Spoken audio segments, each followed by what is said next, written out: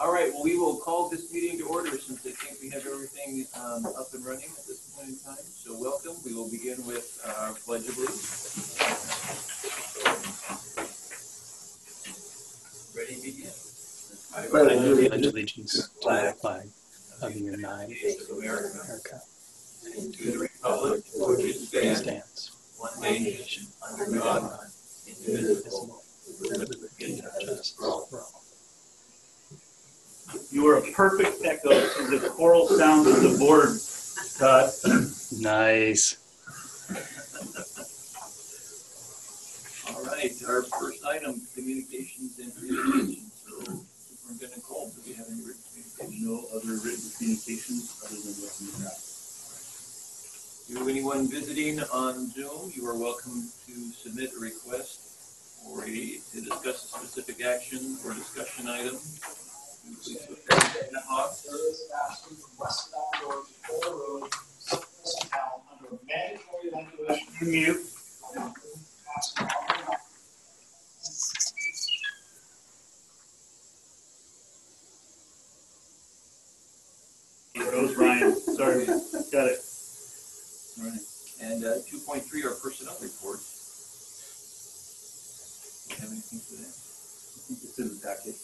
That's communication. All right, very good. So our next item then is our consent agenda. Um, we need a motion to approve our, uh, board agenda from September twenty-eighth, or I'm sorry, August twenty-fifth. And, um, for draft, board draft minutes. So moved. Second. Then moved and seconded. Any further discussion?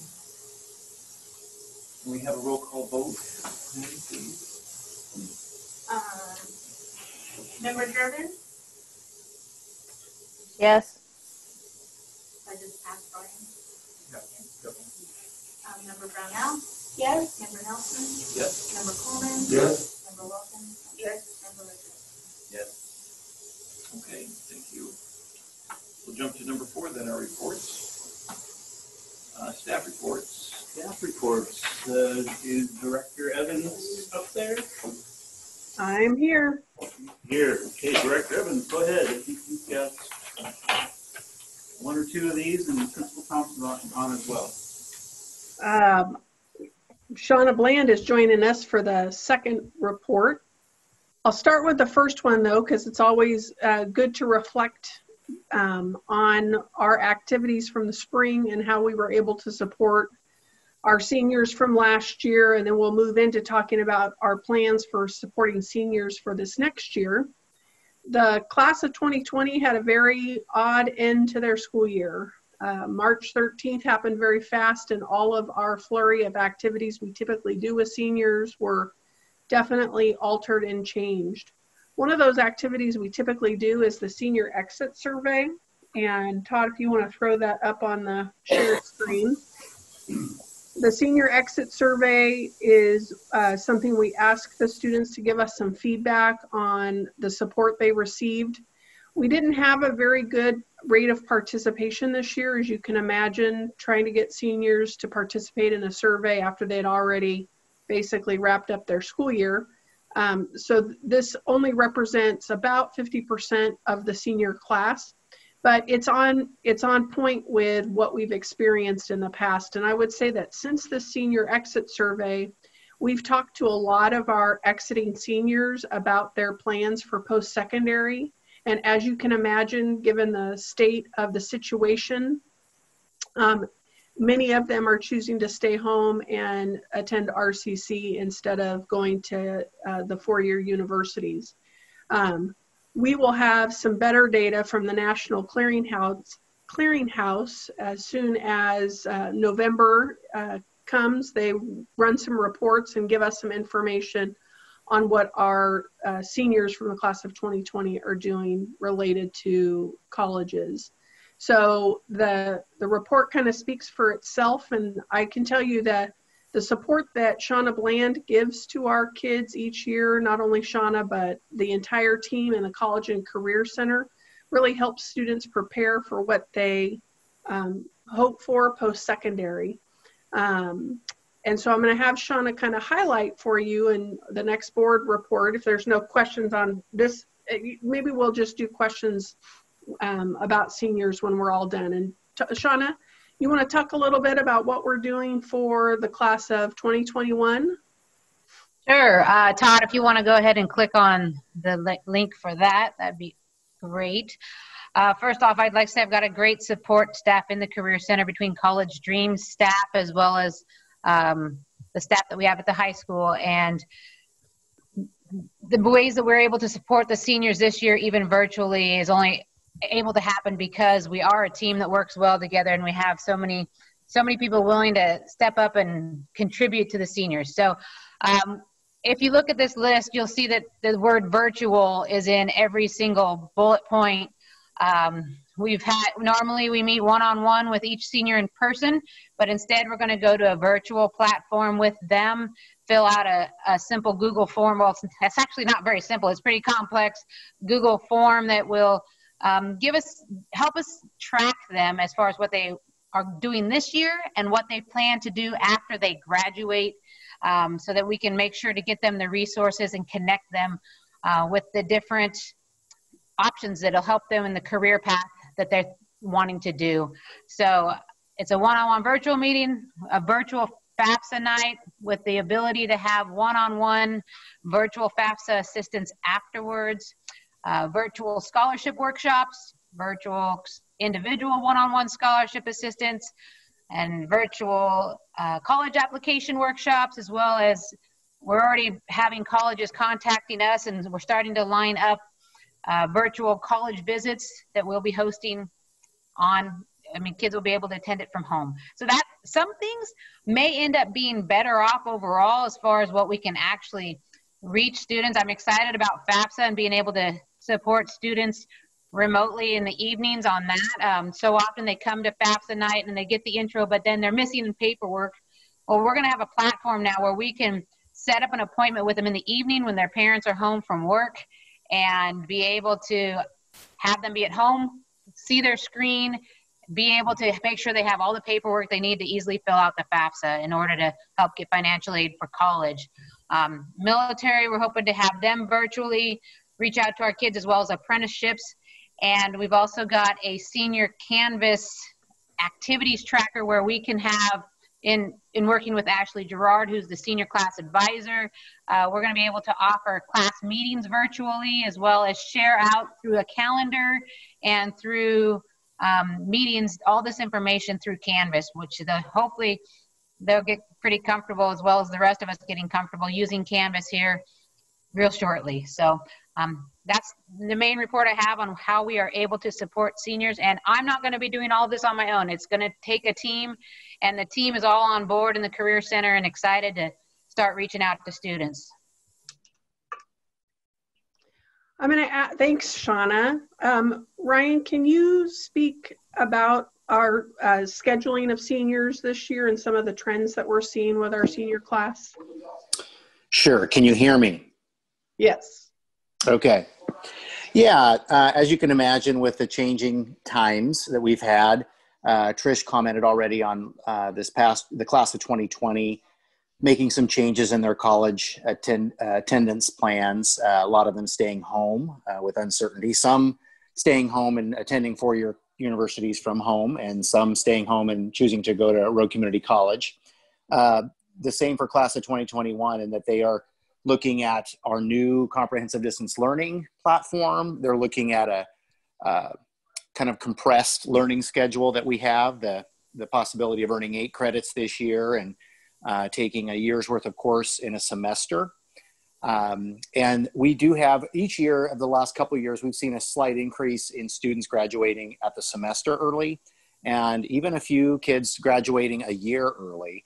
Uh, last year, we had around 25 students graduate at the semester, um, one semester early, and we are trending that same way now, and actually uh, probably will exceed that number. We're having more students that said, "Hey, you know, I, I, you know, this is not what I signed up for. I'm, you know, I want to finish my senior year, but um, if if if we don't come back to school in person, if we don't have school dances and athletics and so forth. Um, I'm kind of interested in in going and starting college online, and so we're seeing more of that. Um, I would I would expect us to exceed that that 25 number, um, and we we can report to you what that will look like here in another week or so, a little more accurately.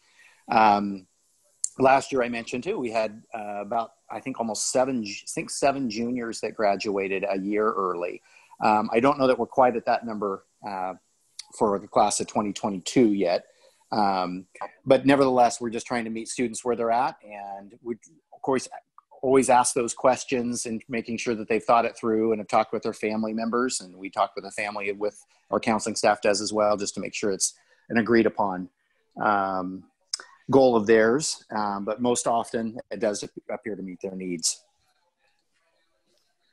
Do you have any questions about how we're supporting our seniors?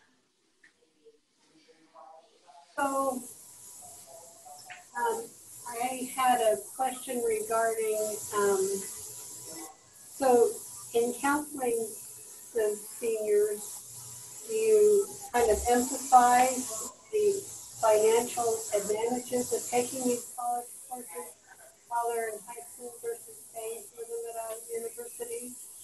And just out of curiosity, um, do we know if the colleges and universities have made any kind of financial adjustment in tuition because of it being online? I'll touch on the counseling piece, and Trish, maybe you have something more on the tuition piece.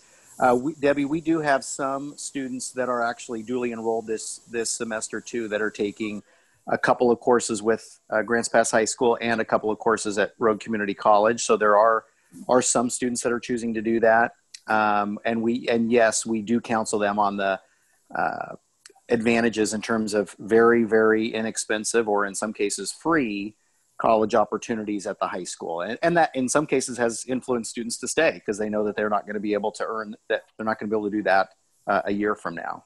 Uh, so that does help. And trish any comments on the tuition? Um, no i i would uh, no no comments on the tuition but comments on our uh, you know, in this virtual world, we are still kind of working through the impacts with our dual credit articulation. Um, colleges have certain expectations and what we're able to achieve.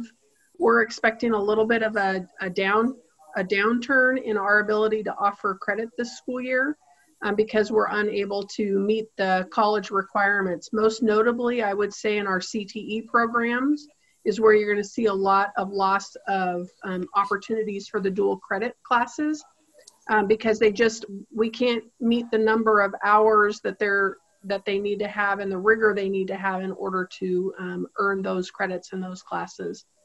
We've been able to, in courses in our core subjects, um, teachers have worked with their uh, RCC partnerships or their SOU partnerships to come up with solutions, and both of those colleges have worked really well with us in core content areas.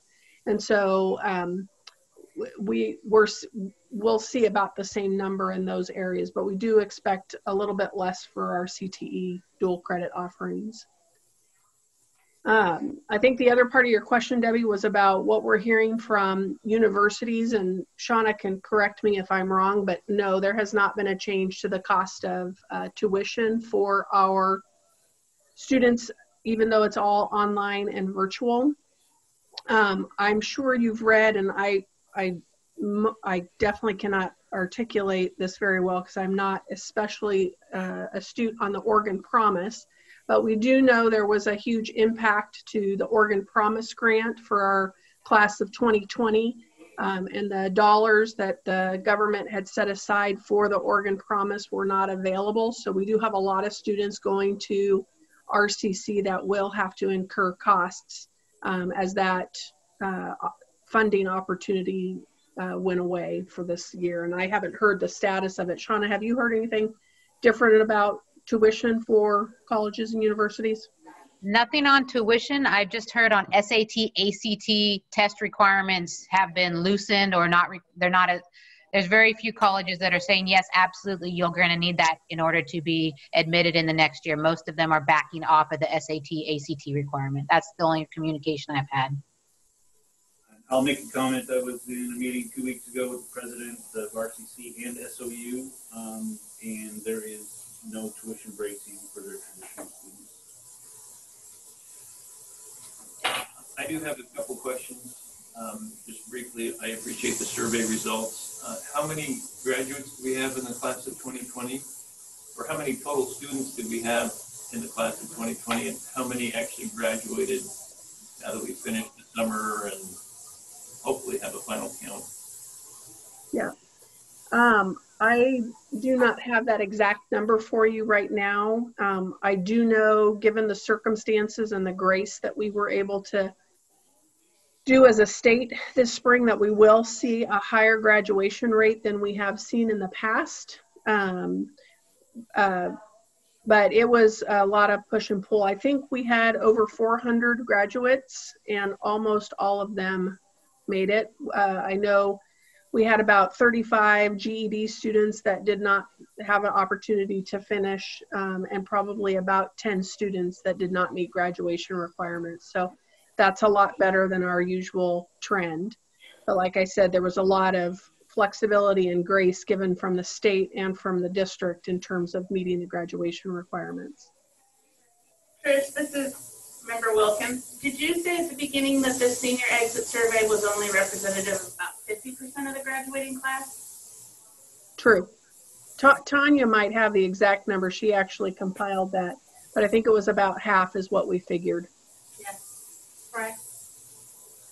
Well, I'm just, I was counting up the number of uh, top 10 schools for transcript requests, which I guess would be the most, because that's not part of the survey, so that would be coming from the school district. There's 153. Well, and they can select multiple multiple schools. I'm trying to get a, an idea of how many of the graduates are really going on to college. If the survey only captures 50% of the kids, what, do we have a sense of how many of, of the 2020 classes going off to a two-year or four-year school and how many are not?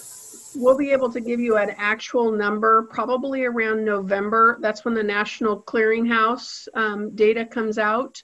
And I will plan a board report that gives you a more accurate number. Okay, thank you. Brian? Uh, I just have a quick question for Shauna um, on the support for seniors. Uh, it looks like there's a lot of good stuff for them to take advantage of. And uh, the last thing on that list talks about activity tracking. And I'm wondering, uh, is that more of kind of like a like a calendar for everyone to know when everything's happening, or is that like more of an active thing where staff can keep track of what opportunities that uh, seniors are taking advantage of? Um, that's more going to be the a calendar for the students to access through the Canvas uh, in order for them to even have in one spot not just a calendar of when things are happening, but also the code, Zoom codes, or Google Meets, or Big Blue Button, whatever platform ends up working the best for them to be able to log on and have it get right in on the meeting. The only other activity tracking that we do is the students do track their volunteering activities, and we help them um, keep track of that in order to put that into scholarship applications and college applications, the different volunteer app- hours that they're tracking. So. Okay, I'm just curious if there's any other kind of tracking for seniors, um, just just as, just so staff would know uh, students that maybe aren't taking advantage of these things, so there could be maybe a little more proactive outreach to those students. It's it's something we can definitely look into to see the actual numbers of who who's logging on to different activities, and then between myself and my staff, and as well as the senior advisor, um, we could definitely reach out to students and encourage them more on that. This is like Brownell coming up. Um, so looking a little bit closer at the students' rate career development, what exactly is ser- senior career narrative? Is that like, what do I want to be when I grow up, or what is, what is that? That's basically a in the past, it's been a, uh, a a paper that they write that reflects on where they've been and where they want to go. They um, they look at what classes they've taken, what they want to do within the next five years, and what they want to do further down the road, and kind of map out that plan of how they're going to get there. So it's it's it's it's kind of a fun activity that a lot of them dread, but then they do it and they realize, oh, that was actually a, a good experience. So that's that's what career narrative is. Well, I just wondered that the, the biggest um, column in the not helpful category, so I wondered that. For the plan and portfolio is a requirement. It's taking care of this member Richardson, um, Trish, if we can't offer what's needed for the CTE so that they can have the college credits for those classes, how are the colleges offering those credits? I mean, are they able to get the students the class time they need? I'm not sure I can really speak to it because I just, I know anecdotally, um, what our, what our RCC partner was able to share. There will be some open labs. They'll be following certain safety protocols. We are, we are still working on it. I will tell you that for this quarter, it's a lot more of a challenge as we try to get this comprehensive distance learning thing off the ground. Um, we are talking about some limited in-person opportunities for our CTE students that might allow us, um, depending on how the next quarter goes and and how we're able to um, partner with the colleges. We've talked about utilizing their labs as well. So we're still exploring some options, but it's it, it's just not an easy fix. Is that because the state is limiting our access to our facility? Uh, yeah, we can only have limited in person based on the metrics on our campuses. And is this something, is this in the healthcare field, the childcare field, the well-being? What, what exactly are we talking about when you say CTE? Uh, healthcare um, is uh, the certifications. If Jeannie Kenyon were here right now, she'd tell you how difficult this year is going to be to get the certifications and the credit. Uh, early childhood is also struggling mightily with covering the, the breadth and the practicum hours students need to earn certain credits in their program of study. Um, our metals fabrication class uh, needs kids actually in the lab welding. Um, our wood shop, uh, we actually we don't have a lot of credits in our wood shop, but in our uh, manufacturing program with Brenda Bungie, we have some credits that we I think she's going to be able to make it work in her program of study. It just kind of depends. I, I know that health sciences and early childhood are are hugely impacted right now. Thank you. So, um, just remember Richardson, Shauna, the virtual one-on-one for FAFSA and that kind of thing, I mean, that sounds really good. Um, kind of something you almost wish you could have all the time, but maybe virtually is a way to keep everybody from traveling. Maybe we can get more people to participate. Um, but one thing about the college part for juniors and seniors, again, it would be a new thing, but we've often talked about how many credits our students earn while they're at Grants Pass High School. And they tend to not get them in the right buckets for what they're going to do in the future. But now that there's much stronger emphasis on online college stuff, um, maybe we can do a better job of helping them align those credits and possibly even start their online college career when they're juniors. Um, so anyway, it's something that you guys might look at. We actually are, we actually do have a number of students who will be taking um, online classes through RCC and SOU this term.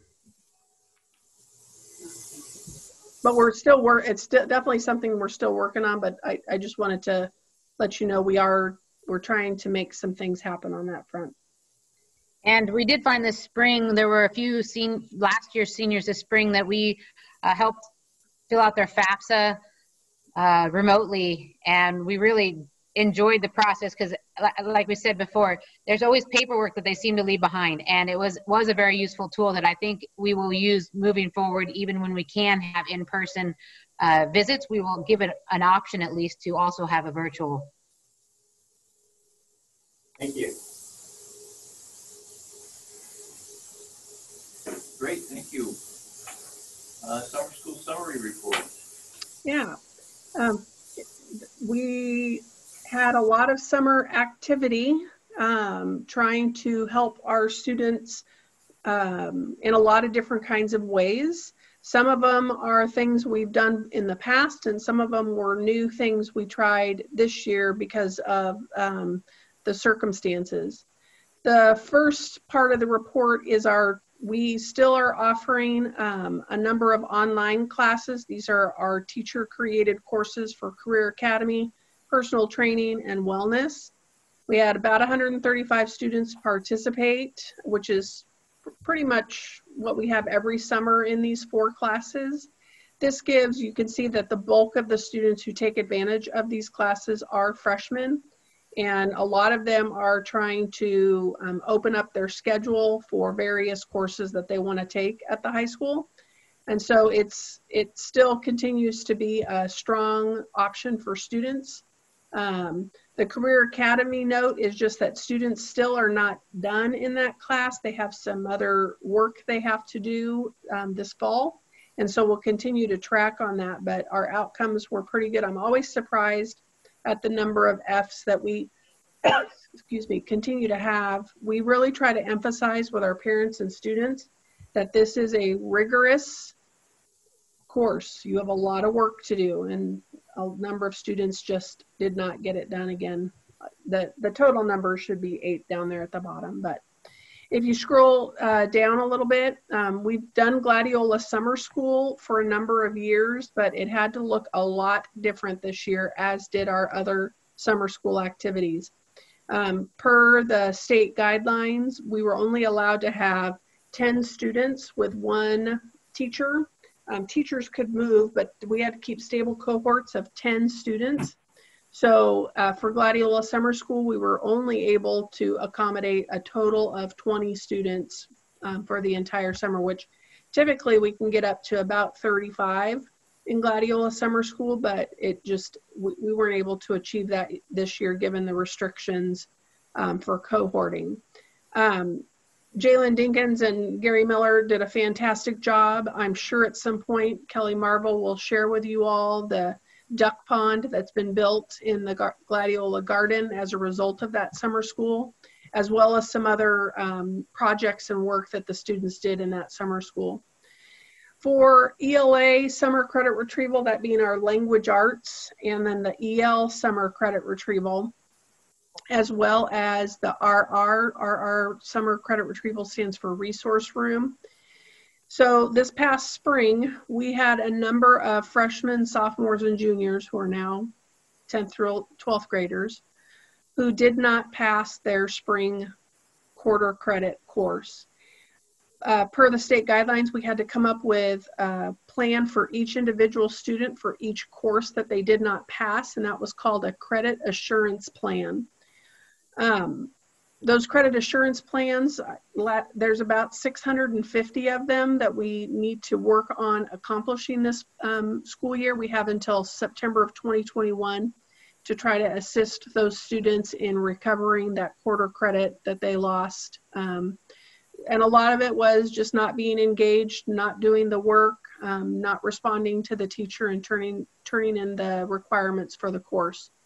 So uh, our language arts teachers, three of them, um, because the bulk of the credit was lost in language arts, um, which is pretty typical as well. Um, if you look at our credit retrieval needs, language arts tends to be the highest, with math being second. But the um, teachers were able to work with 10 students in each one of their cohorts, so a total of 30 kids.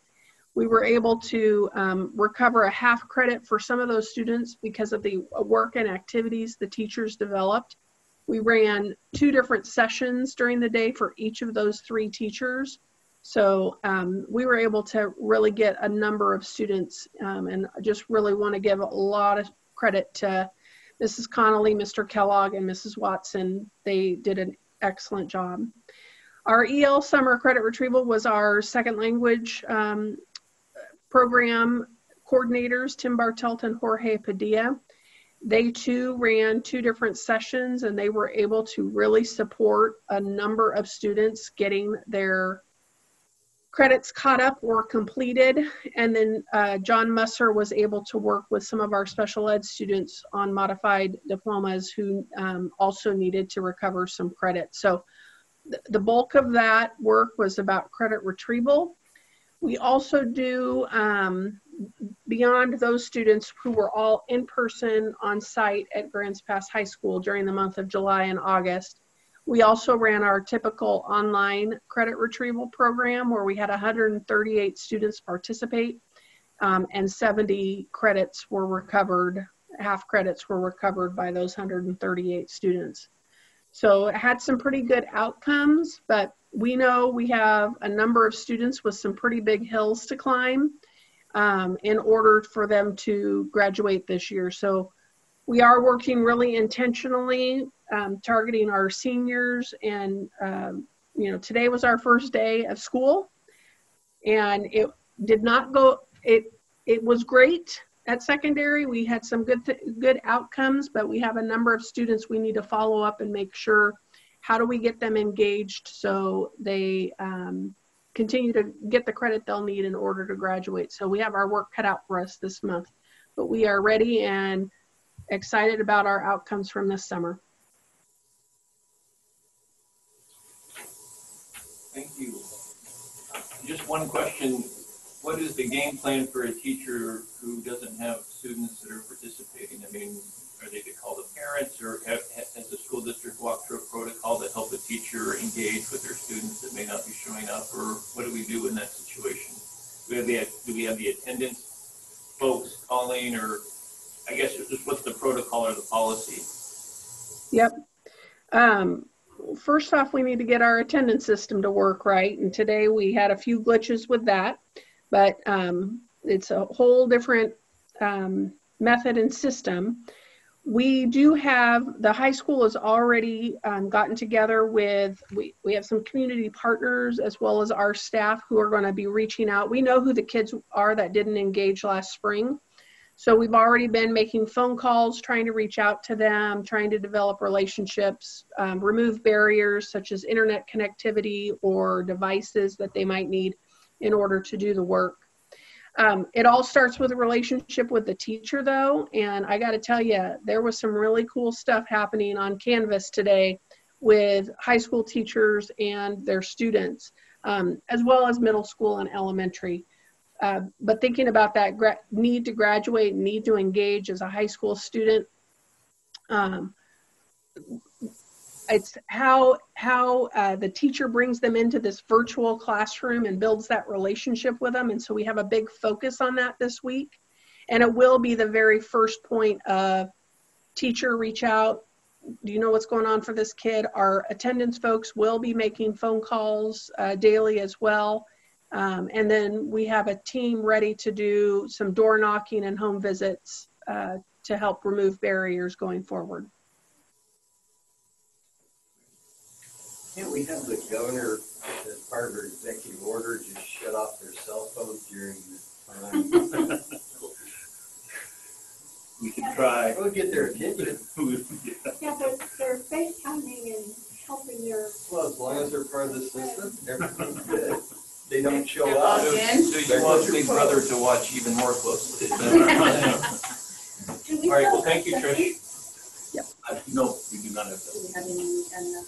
We, we have not filled that position. We're retooling, uh, in terms of grades. Yes. All right, um, four point two, superintendent reports. We're gonna talk about our quarterly review of our strategic plan, which is found on our report section. So, um, shared the draft of it and attempted, uh, 2019-20 will go down as a big asterisk year, I think, in terms of data overall. Um, there are a number of places in here where, uh, the data has not been collected because I, um, watching the director team do what they've been doing for the past month, um, felt like this is a working document that we can fill in as we move forward in, and filling in some of these data pieces. Um, and so just kind of going down here um, and looking at each of the objectives of what we're trying to do and talking about what would be collected for data. So in the first uh, row, um, it's the, it would be the number of staff being trained in each of these and the number of students possibly being impacted. For example, Discovery is the is an alternative education program that we uh, did a middle school pilot on this year. Um, and so that one would have number of students impacted. And Positive discipline is a classroom management training for staff that has uh, some uh, is known to have very good results, and so we were pursuing those pretty heavily. Just the training on, the number of staff in these other uh, professional development areas is the type of data we can collect, and we can then reference the percent of our staff that are equipped with the tools that go into this professional development.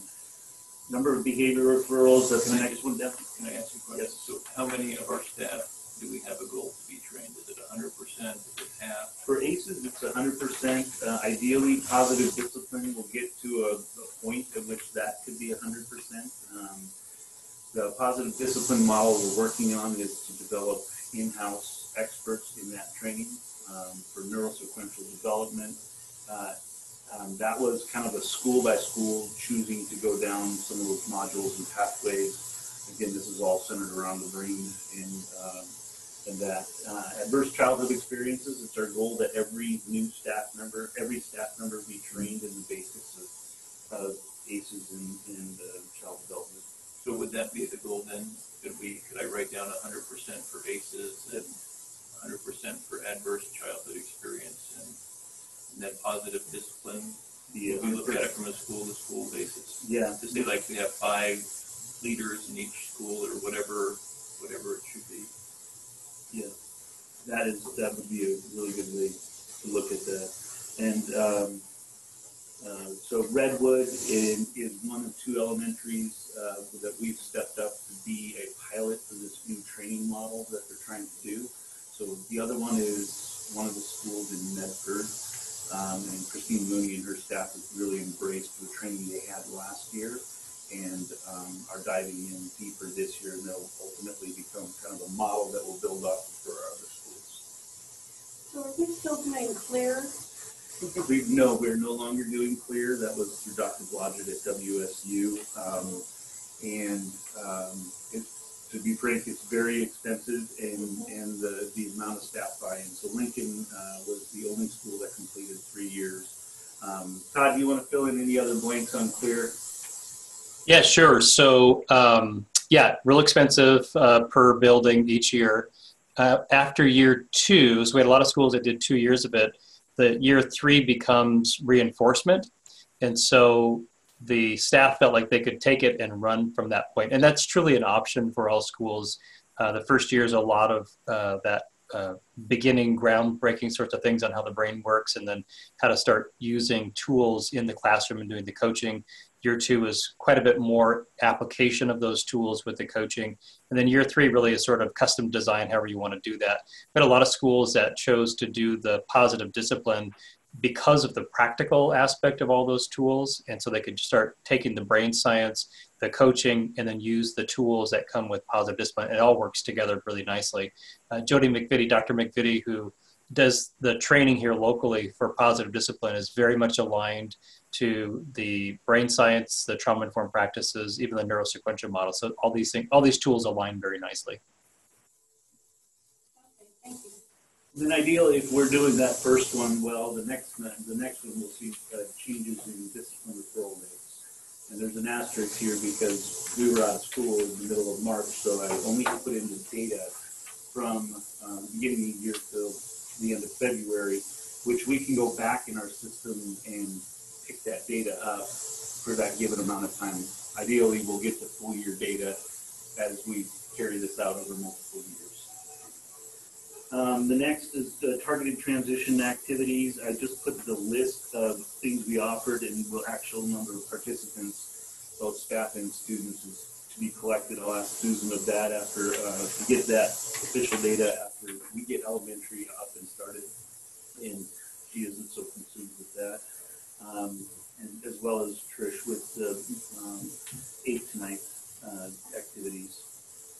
Um, the last one on that page um, is targeted interventions, so uh, data to be collected. Um, number of students impacted by stepping stones that transition back to classrooms. This year, we're not running stepping stones. We had to make some decisions about staffing and programs, um, and so we're not running stepping stones this year. So there's an asterisk next to that one. IPMs are individual planning meetings, so that would be the number of individual behavioral planning meetings uh, for students um, by school. We can track that at the elementary level, and then we have uh, some newer systems in place at the middle school as well.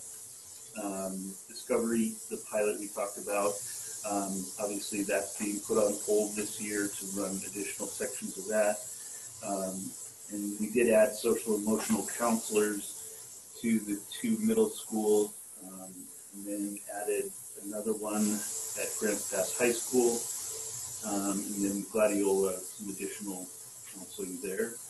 Um, so that's really just, we're adding this resource.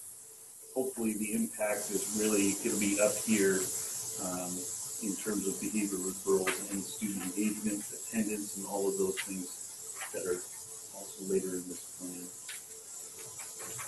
So- And so uh, if you flip that over, um, Another uh, asterisk that's going to be for this year is we do not, and I'm uh, plan to roll out the Youth Truth Survey this year and put that on hold again.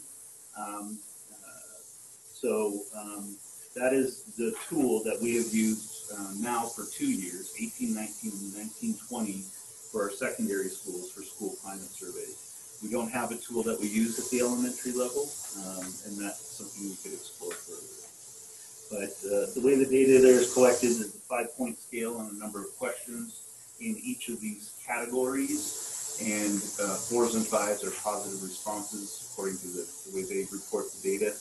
And so you can see um, how students are feeling around culture, belonging, uh, relationships, belonging, peer collaboration at the respective secondary school. Kirk, is, is truth the only thing that we use? Um, Are there integrated lessons with the elementary the middle? There isn't uh, to, to collect survey data on student climate perceptions of school. Is there curriculum type things on culture and safety and Um? Uh, we have a, a behavior curriculum that teaches social emotional skills that every teacher uh, rolls out lessons for. Um, and so the data to collect, it's expected that teachers are teaching that curriculum, all teachers are. So I just worry that we put a lot on one survey. Yeah, and I think we can use the, they changed it again, another, another tool that the state changes is the, uh, uh, Trish, what's the name of the new, uh, teen survey that, uh, Oregon Department of Ed has said, we're just going down this one? Uh, It's the uh, student health survey. I'll be reporting on it in October to you guys. So student health survey, that's a, a new refined tool, but that's only issued at, uh, two, uh, two separate grade levels. Um, so, um, trying to find tools that capture these things is, is challenging, and then, like this year with the way the current conditions are, that survey is always given in the fall, and we don't have kids in school this fall, so we put that on hold for another year. But it is a, it is a tool with a lot of data that we can mine and use on a number of levels. And, and, and you'll see that reflected in a couple of others. So if I look at some of these, I mean, our I guess you'd call it, if you look at the breakdown of our students, our cultural positive ratings were actually lower than all of our minority students. So they could all be having a hundred percent negative view. And we can actually break it down by some demographic data in terms of the responses. So um, I'll dig deeper into that, but I believe yes. The answer is what you said. And that would be yes. bad. that would be bad. So um, I'll, I'm going to dive into that a little. There's a lot of data in there, and we can disaggregate uh, on some level. And it's an online survey, It is. It is an online so we could have them take it, even though they're not in school, you just to get a sense of where things are at. Yeah. Well, well, Trish, let's talk about that a little bit more tomorrow if you want. Only from a standpoint, it would be fascinating to see how they feel things are going as we Yeah. get school year. We are actually administering the Youth Truth Survey in March to North and South Middle School. Um, for Grants Pass High School, it's just there's, it's, we've made the decision we're not going to give it this year at Grants Pass High School, but we um, are giving the student health survey. And as uh, Kathy noted, I mean, three of our items for uh, grounding practice and equity and inclusive practices, all, that's the only information we get is that truth survey.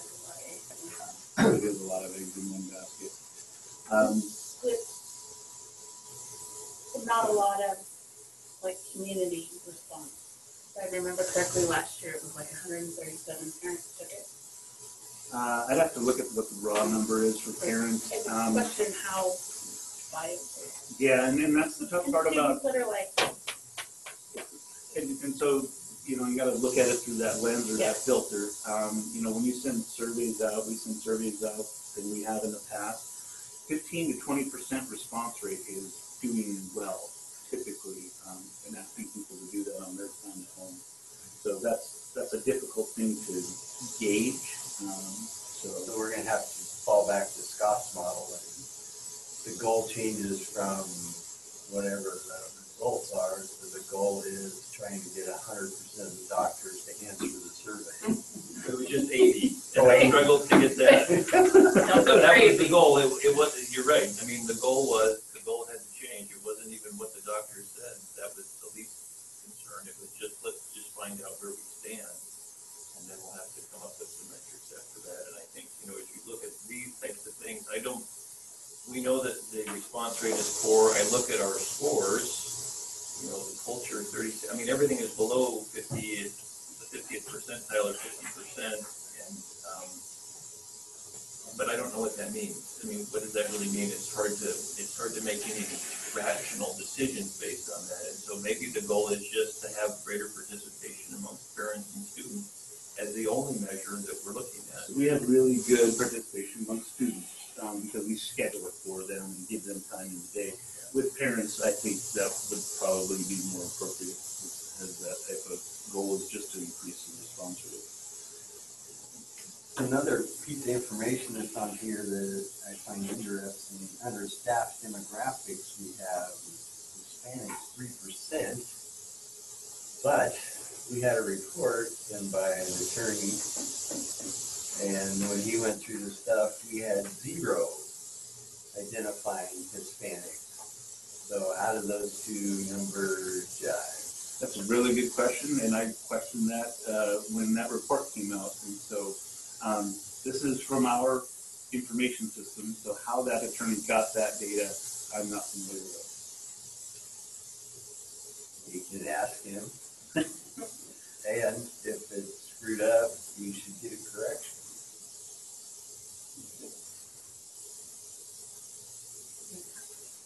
Do we know where the youth survey data is different on the first one and the third one? Am I reading that wrong? Versus under North Middle School on the very top, it's forty-six percent for culture, and on the third line, sixty-three percent for culture.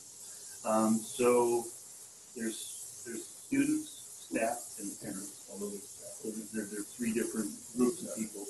Um, So, um, still need to collect data on the staff retention, um, and, and so work with HR on that, but, uh, HR's been a little busy lately too. Um, as you'll hear in the executive session. So you can see, and the other thing that they call a positive is a four or a five. And, You know, three is right in the middle, very neutral. So um, we don't have data on what many threes were necessarily. I think we might be able to break it down that far, but I spent about half a day in the data trying to mine differences. Did we earlier this year get a report on the, on this youth truth survey data? Yeah, Okay, Yeah. all right, So there was, there was a report. Um, it, it was, it was very narrowed, uh, in terms of, uh, what we shared, because there's so much, and so we just try to take some highlights then. Any other questions on that page?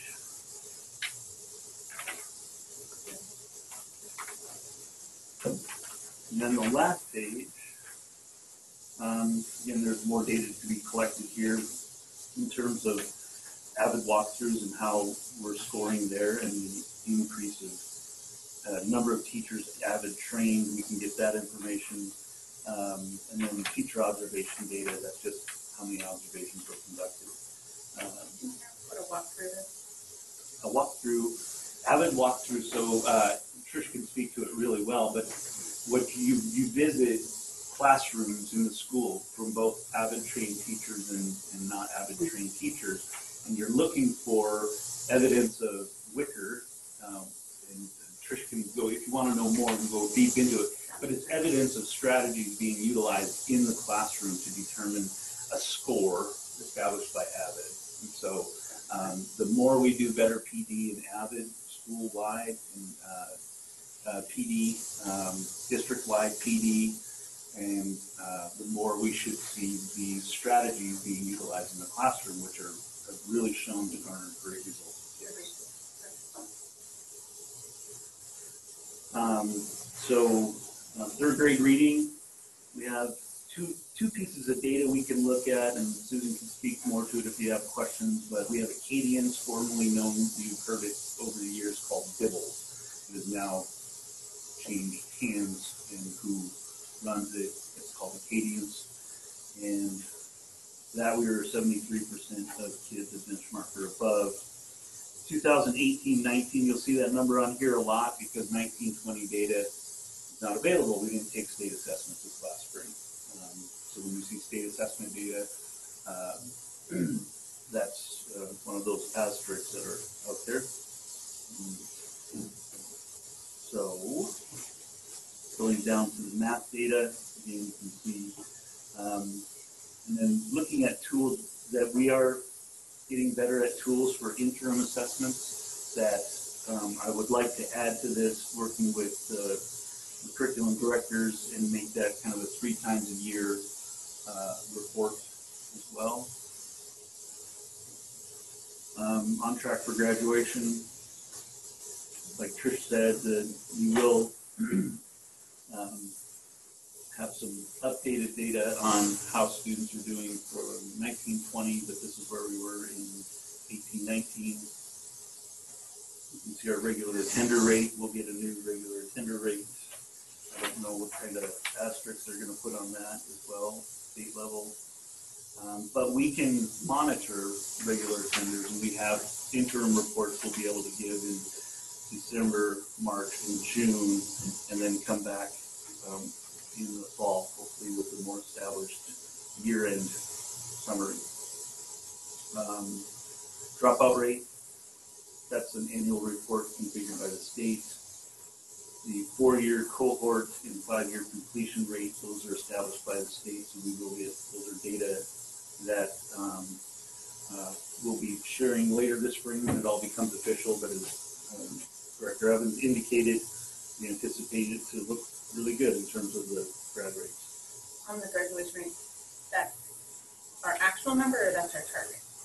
Um, Um, so our, our target is over here on the far left. Okay. That's where, The those are our 80% and this is actuals, where we yeah, so this really is intended to be baseline, here's what we know, and we're trying to move the needle on these things. Um, going down to, I haven't had a chance to sit down with Sherry to talk about how best to quantify safety. Be- Before we leave the uh, academic stuff, I'm really struggling with some of our goal things. Um, Particularly, there's the issue of one year of crummy data. Um, One class of students will be really strong academically, the next year not so much. And so it looks like you didn't make your goal. And then the following year, there's the reversion to the mean, right? And you get a better class and, ooh, it looks like you're, you're really doing good this year. That is not the way for us to tell that we're making progress on a year by year basis because a cohort of students is too different from each other unless you're gonna some kind of way start statistically giving us a band for uh, the range of each cohort. Um, so maybe we should be using a moving average and saying that our goal is that the moving average is moving up every year, and that way as you have these variances between classes, that gets smoothed out so we can tell are we trending up or are we flat or are we trending down? But measuring year to year, you just can't tell anything, really.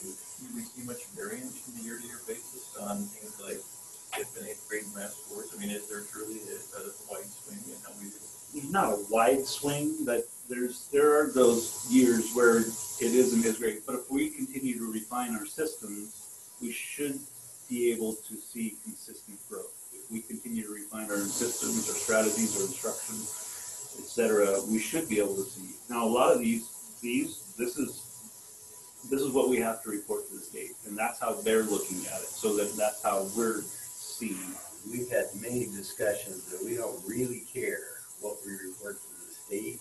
We're looking for a measure that tells us that District Seven is doing better.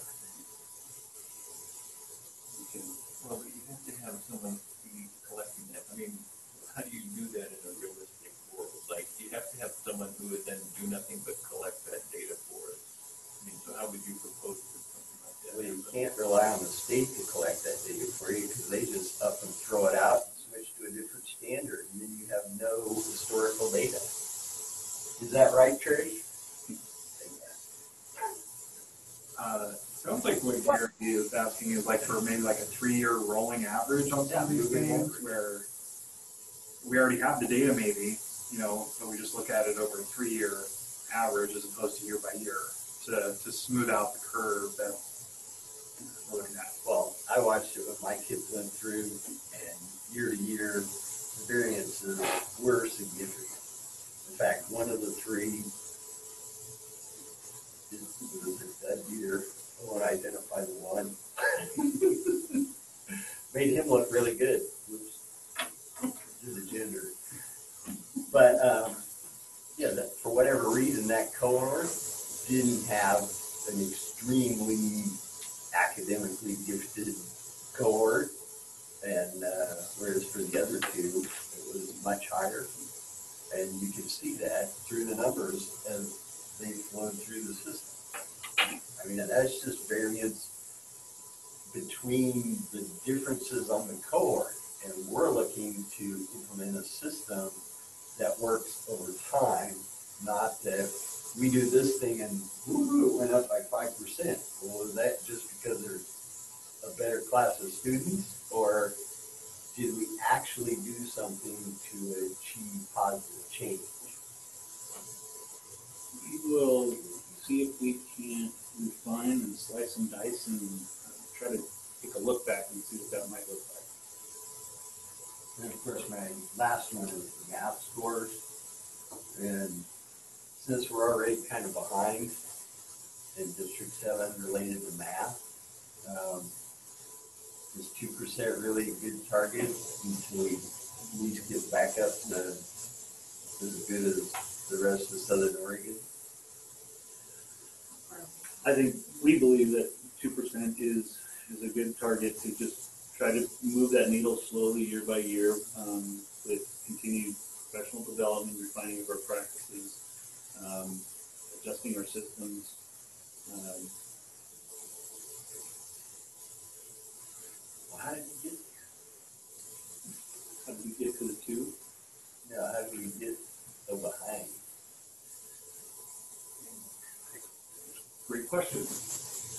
I know that we've invested a lot in professional development over the last couple of years, especially at the primary level. I know Tricia's brought in, um, uh, the secondary level, brought teams together. It's probably one of the areas we've spent the most on PD in the last couple of years, trying to turn that. We are seeing, we are seeing, um, definitely at the younger levels, um, uh, the third and fifth grade, we're seeing it start to really move up. And we know that you got half of your kids coming into middle school that aren't proficient in math. They're working with some challenges to say they're going to be proficient in eighth grade. So it's really a systems effort over time.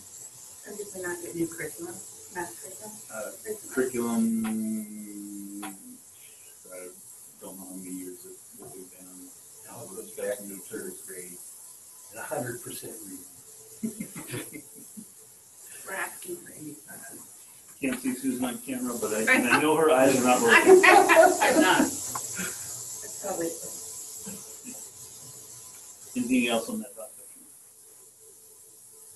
So, decreasing the ending fund balance, that's been a target, uh, priority for the board for a number of years. Um, this target, I forget what the actual percent is, uh, but it's up um, from the prior year. Um, plan for improving the facility, the document that is attached, the first page of that document, Gary, did you want to speak to what you would want to see on that?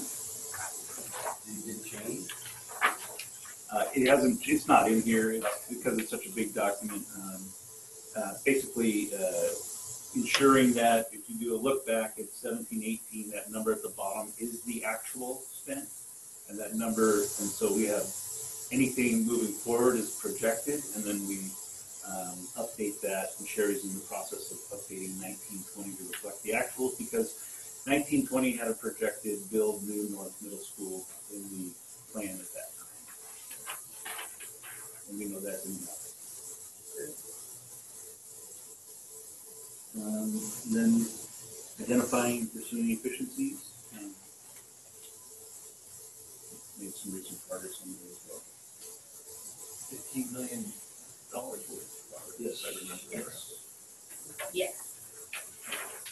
So, um, related to facilities, and then we are doing some large upgrades.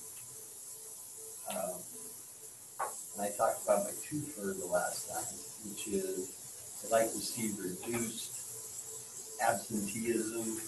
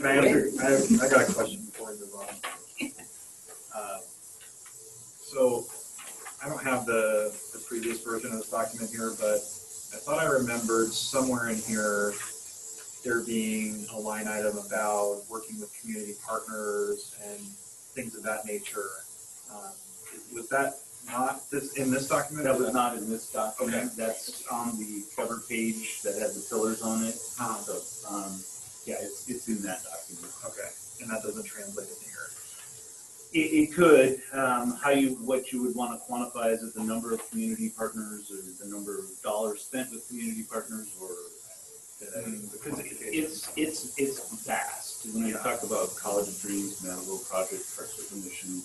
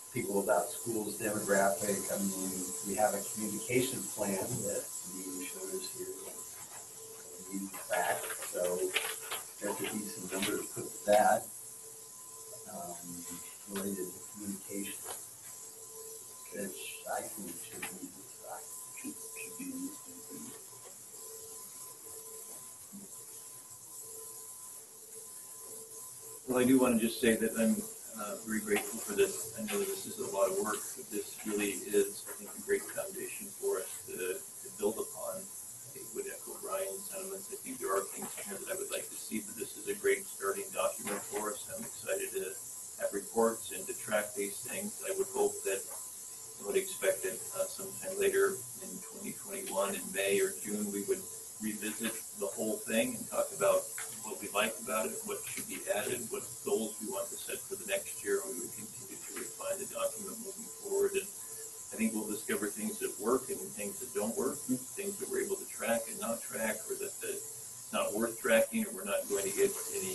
mileage out of some of the things that we're looking at that we want to continue to refine as we move forward. So this is a great starting point. I have a question. So we say that we want to do it quarterly, but the majority of these things are annual.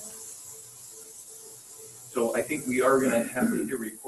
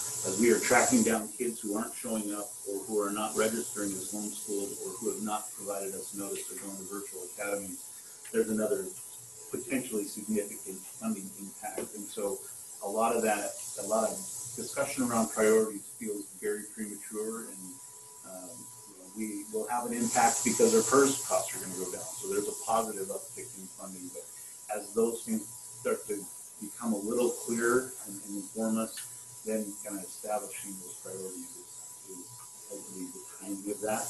Um, probably looking towards January and starting that process involving the budget committee and board as a whole. When does that usually happen? Um, we've, we've almost always started it after spring break with meeting with the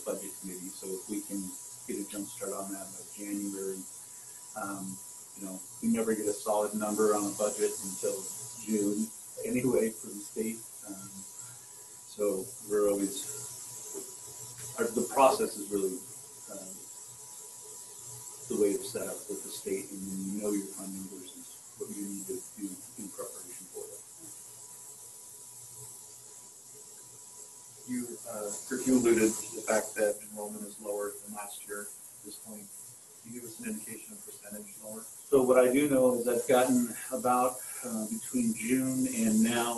100 notifications.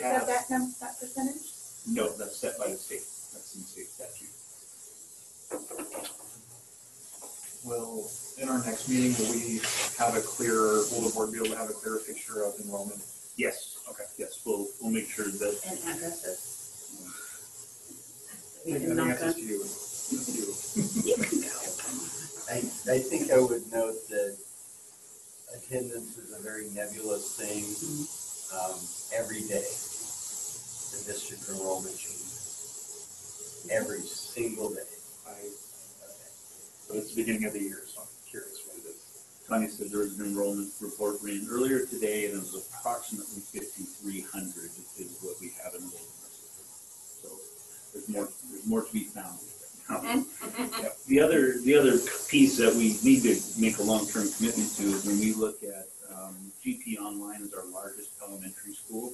And basically, if, if the student's enrolled in GP Online, it is no different than attending a virtual charter school somewhere else. The big difference is you'll have access to Grants Pass School District teachers, and you'll have access to Grants Pass School District activities if you enroll in our virtual school. And so there will be a marketing piece that we will need to pursue pretty heavily uh, in, in getting these students back on our rolls.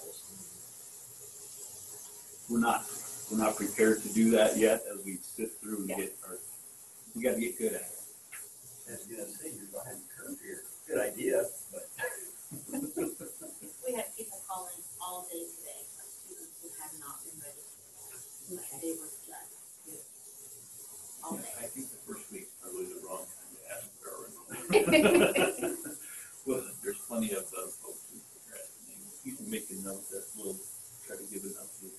Well, of course, it's so different this year. The real question is, when does the state want the number, which determines how much money the district receives? Yeah. They don't count on September eighth, do they? you know, it's average daily membership for the school year, so at the end of the year, we'll, we'll come up with a number, so get them sooner to keep that number up. Should be noted that Sherry will keep a very close eye on what the other districts are and seeing if they're pulling any shenanigans with their attendance. ODD can't. All right, Never know the well, definition. let's move Might on not to have point never happened. three. All right. Uh, Board reports and special concerns, our property planning committee report. And Member Durbin said she would lead this and we, the rest of us would backfill. Yes, thank you. Can you guys hear me okay? Yes, I'm trying not to be the yelling voice from upon high, so uh, tell me if I'm being too loud. Um, but had a very uh, productive meeting with the city as part of our uh, planning committee. Um, got to talk over uh, the high level points uh, surrounded the uh, lease questions about the two parks. Um, also talked into for future partnership planning on some properties.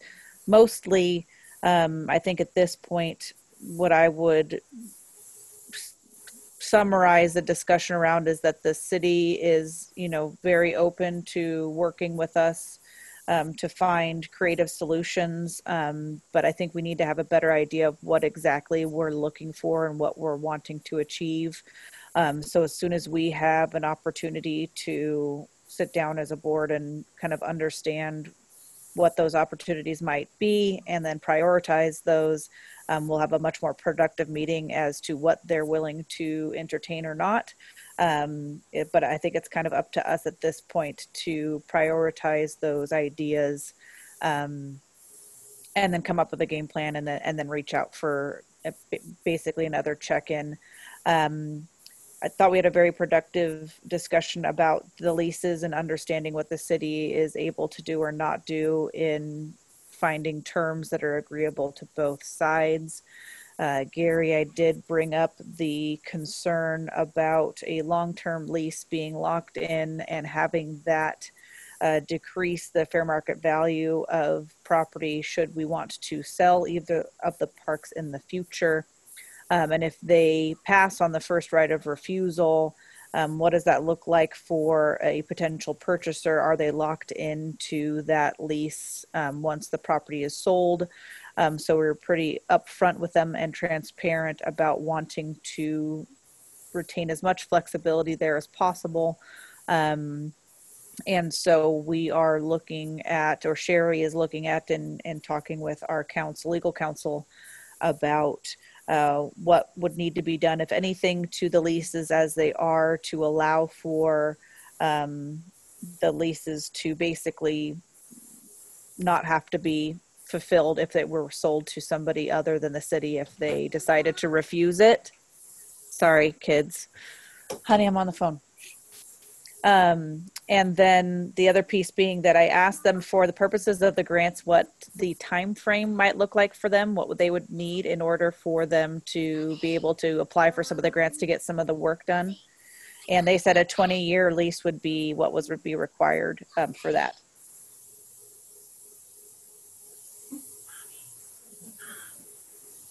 From my school. Is what it looks like.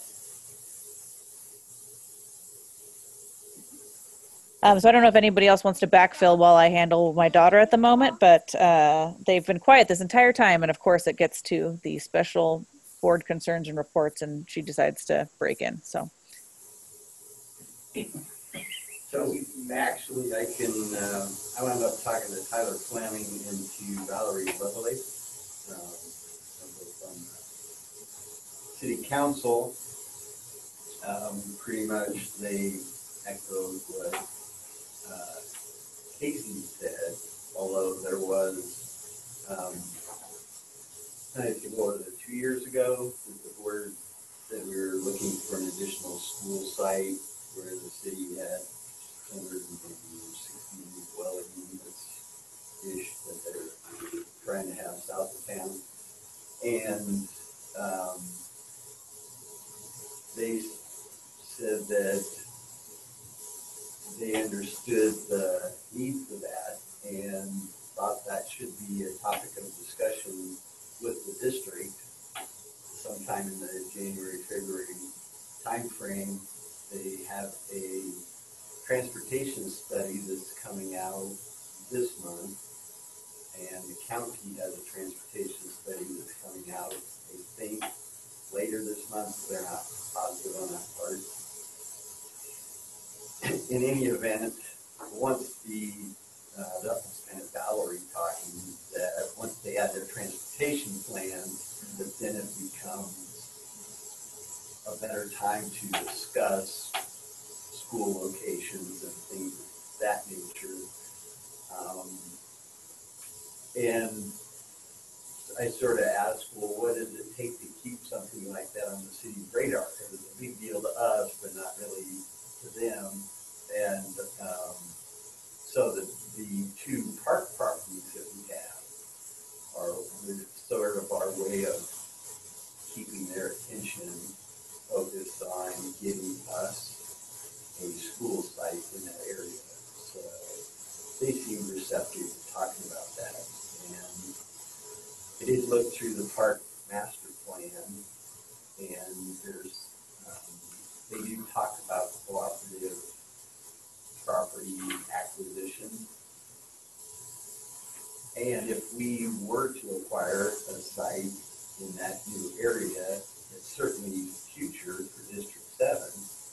So it could be part of their park usage for twenty to forty years until the area builds out and we would actually use the school there. So there is some good discussion that we could have with the city year related to that. Where, where are you talking about? As a possible school site? I have no site. So I, I, I don't know that, uh, uh, those plans or conversations have had, um, a lot of airtime with the city. Um, so, um, and, uh, there's a property, um, behind, like, uh, where Allen Creek meets Harbeck. Um, and there's large, uh, private pro- properties back there, and so there's consideration that somehow that land might be acquired to provide um, uh, affordable housing essentially and upwards of 660 units. But I don't know how public the city has been about that, and um, because I haven't seen anything, I was aware of this probably almost two years ago. Sherry and I, we had a meeting with the city. Um, I know there were some initial thoughts or conversations. Um, and with uh, Rich Ford, I believe was part of those conversations as well. I recall some of those when I first came on.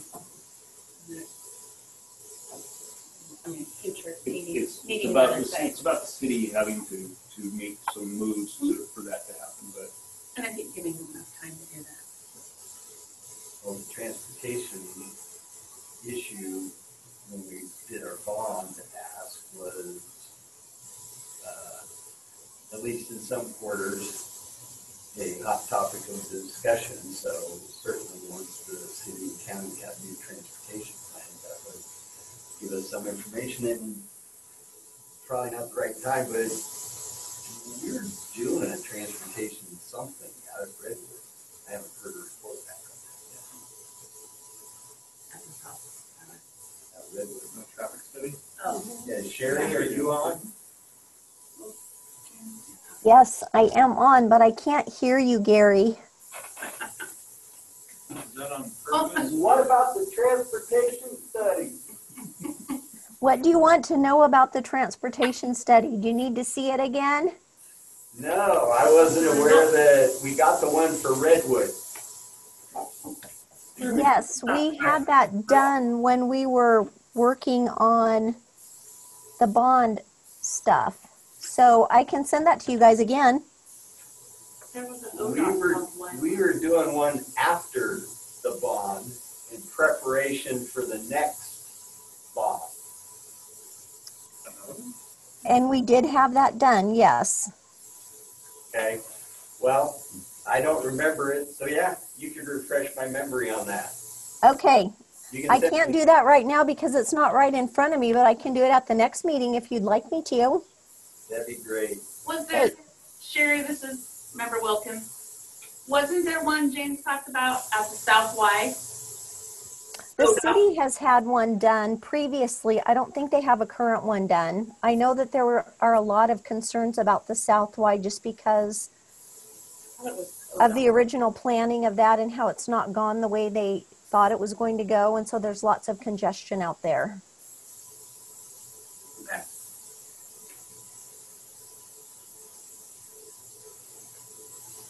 This is member Durbin. I guess I would just kind of finish my thought from earlier before I was interrupted, which um, we did get to talking to a little bit of the specifics about Caveman Pool and understanding what the city is currently facing. Um, you know, Brian being um, a member of the Parks Committee, already kind of being up to speed on what the city is looking at for the Caveman Pool property. Um, but we uh, received the information, um, at least Cassie and I did, to look over and start to understand what the implications of repairing that property might look like, just to add to our knowledge for future discussions about other properties we may or may not go into partnership with the city on, depending on what our district's needs look like going forward.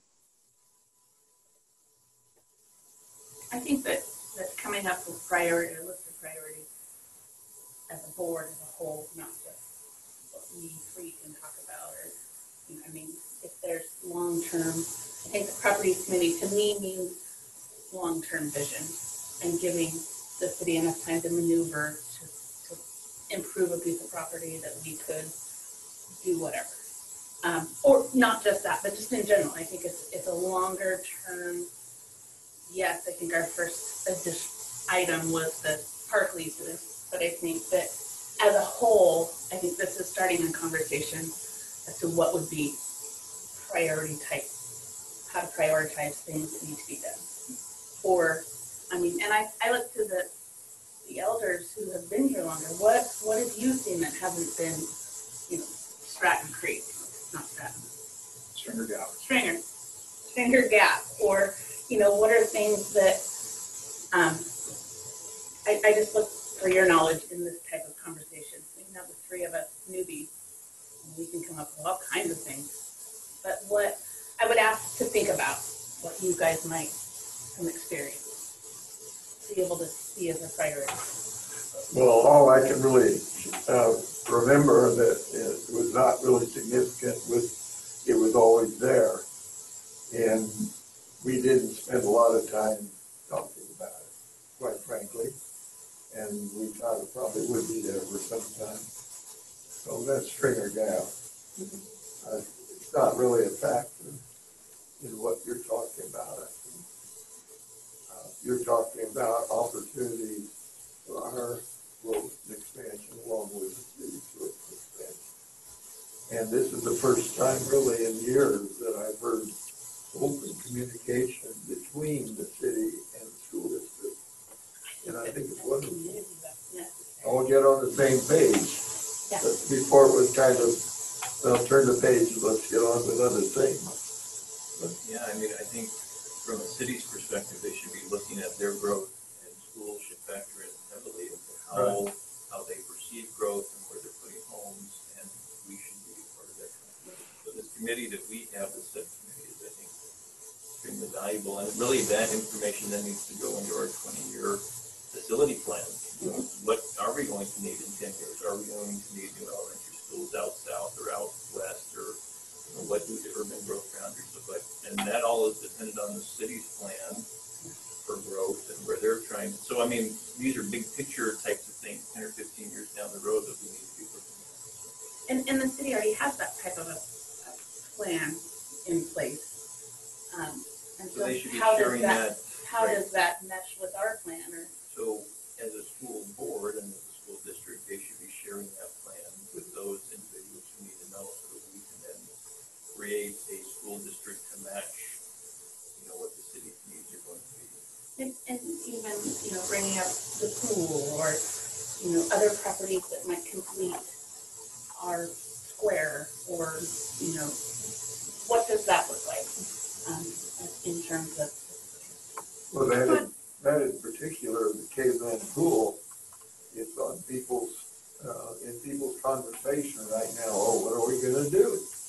So now the opportunity is just get in their city and school district and figure it out. And we've got people involved, uh, that can do that. And if there's truly a need, if there's a need there, they recognize, then we can resolve the way to handle it. Kind of looking at Brian a lot, but I'm, I'm also on the park board and some of these things come up. so,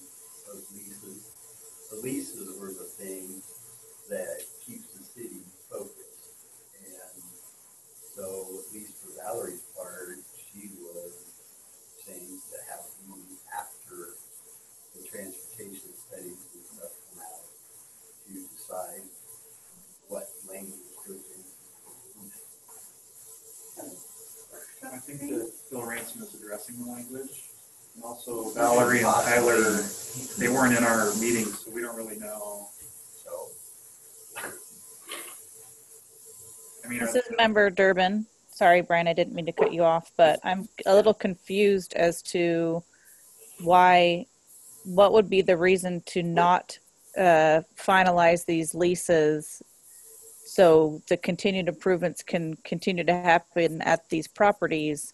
And then if we're discussing some type of a land swap or other partnership opportunities, why getting leases executed would prevent um, those discussions from happening if it's in everybody's best interest to move forward. I, I guess I don't understand what, why string them along. So there didn't seem to be any urgency related to improvement for the parks. So And that's where we heard differently, um, repurposing Gilbert Creek, they're gonna decommission the softball field and then addressing park, the parking lot over there. And Laura said we'd like to execute the leases, so we were into it long-term, you heard that as well, Brian. Um, and so that there is improvements they have planned and in the works that they are, according to what we heard from Laura. so they're going to get rid of the softball field.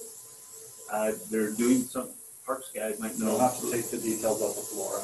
That's just what was relayed to us in the meeting. Because we, as a district, sometimes use those softball athletic fields, let's just say, at the parks for overflow stuff for the district. So if they're going to remove the athletic fields, that's kind of a horse of a different color. Well, Jerry, there's a lot, there's a lot that's gone on since you and I used to, uh, we were aware of what was being done at Gilbert Creek Park. It's a whole new ballgame now. Uh, they don't have any men playing softball anymore because they're afraid they'll hit the tennis players with the home runs. It's too short of a field, outfield. So that's why they're, and then of course the girls have this beautiful stadium here, the school, uh, district has provided for them. And so they don't have the push for, uh, needs to help with the, the girl softball team. Um, cause they've got that covered. And then you also have, uh, usage fields, right, because of the virus, the fields out at Reinhart Park are available too, uh, for girls and, uh, boys play actually, And I would and adults. And also, uh, since I was a vice principal at North Middle School going back um, 14 years, we have not used the softball field at Gilbert Creek. We, there's plenty of field space at North Middle School where they, they do their softball. I mean, So it's a new, it's a new generation. So The the only objection I hear, Gary, is that we use this as a, as a way to continue to have the city engage with us. Yes. Can But, we- I mean, we could put things like they, I don't know, pick some number. The one that is a payment that they have to make, so that every year they get a little wake-up call that, hey, we're supposed to be working on this uh, project with the school district. I You think know, the stuff else like that. about the onset of GPO might alter. Yeah, there's a lot of factors there. Um, yeah, so, um, uh, if, if your theory is they won't engage with us on a, on a, um, dollar a year lease, is that, Do we really believe that we can engage with the city on a regular basis? That's- that's The right, only way to engage with the city is. We are on a Well, if we don't, then we get a right, payment I know, every but I'm year. trying to clarify what he's saying. He's saying ask for more money so they take it seriously is, is kind of what I'm Well, I hearing. think over the years, I agree with Gary that uh, a couple of us raised our eyebrows every time the question about the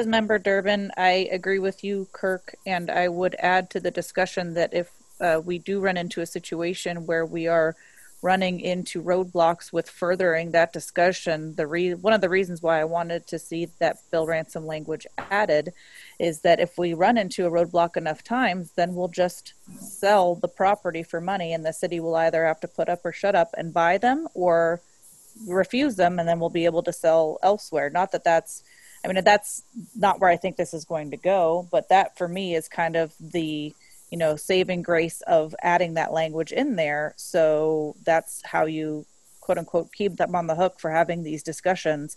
But I am, fully confident that the city will continue to engage with us as we're trying to put together our list of priorities and planning for what uh, future development for school sites and building developments and housing developments are going to look like in the future. Think that it, it makes me feel comfortable hearing with, but it has kind of always been a little bit of a hiccup or a pause, um, because it caused myself the same hiccup and pause, thinking, you know, we pay lots of money for other things that, to the city that we need and they need, and so it didn't feel like a workable, maybe relationship, um, and so hoping that we can maintain a relationship or foster a relationship of communication with them um, would be my goal through all of this. But but it does make me feel good because I was like, what? Wait. Well, you've got great opportunities. You have uh, the circumstance where the public works uh, is retiring now for the city. So you've got new people to deal with. Uh, and so you can start off fresh with the three people we have and a superintendent right in the middle of it. And then they should have some of their new people that are going to be fresh too. And their city manager should better be right in the middle of it. And then those, that's, those are two viable forces that can combine and work miracles. And yeah, Well, I'm just gonna end this discussion. I appreciate the committee's report. I think we're all in agreement, I think most of us, on what we should do. So, uh, thank you, Casey, for your report and for all those who've chimed in. Um, so we're gonna go to our next item, which is 5.0 future meeting dates and suggested agenda items. Another different special concern. Um, Trish, can you hear me? I can. So, uh, I'm looking back at some of my old notes and you are going to bring to a future board meeting a student GPHS schedule that aligned with an RCC associate's degree. How long ago was that in your notes? Wow. Yes, I do think that is true. I remember that. But I think March 13th happened and my pre COVID brain has escaped me. So thanks for reminding me.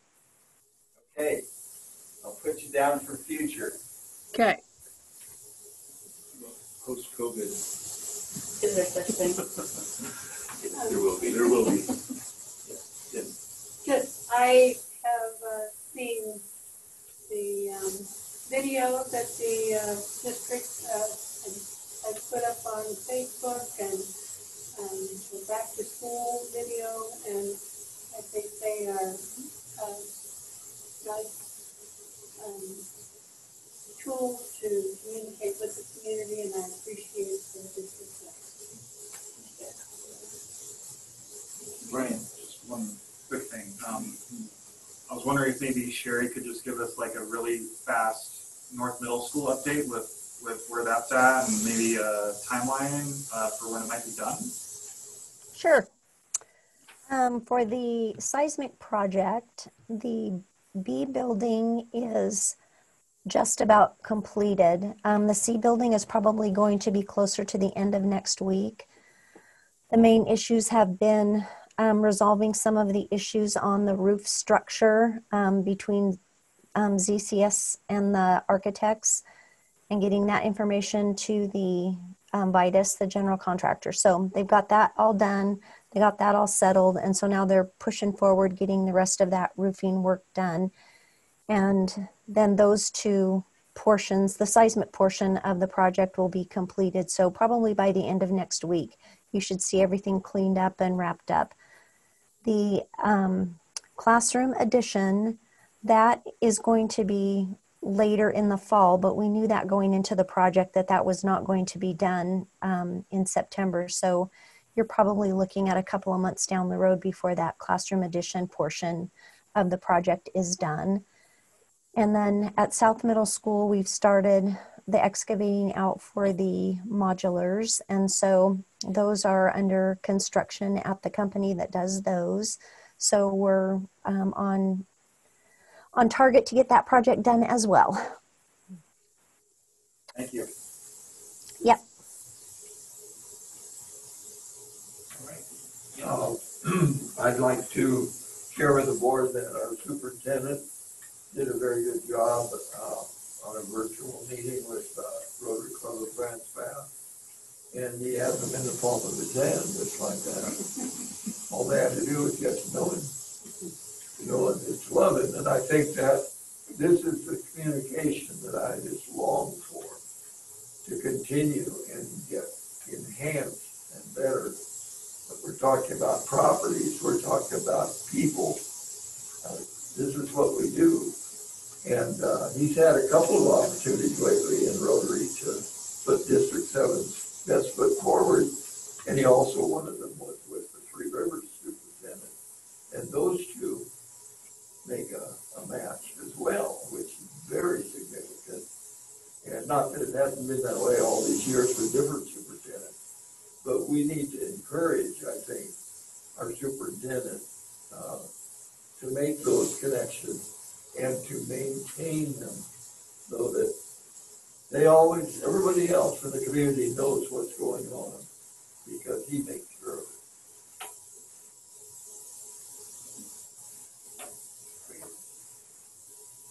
All right, any other special concerns or announcements? Thank you. All right, our future meeting dates. Uh, next one is gonna be September twenty-second at five P M. And then after that is, uh, October thirteenth at five. So, Any questions on those? All right, we're gonna adjourn our regular session and we'll give a five-minute break for those who need it and then we'll start our executive session. I don't know what that was, but Ready for your gavel. Think of the shimmy. Uh, Just gotta use the bathroom, that's shimmy. We could just sell them the parks for ten bucks, like we sold them the pool. that was a, that was a good deal on our end. though. What, sell them the property for ten bucks? No, the pool. Todd, can you, uh, close out the regular session and then our team can join in the, uh, executive session Zoom? Yeah, I'm going to leave this session live. You guys can go ahead and close out of it there, and then Tanya can set up her session, and we'll all log back into that one. And then this one, people can just stay on. I'm gonna, I have a little message I'm going to put on there, so let them know that we're in executive session. Okay.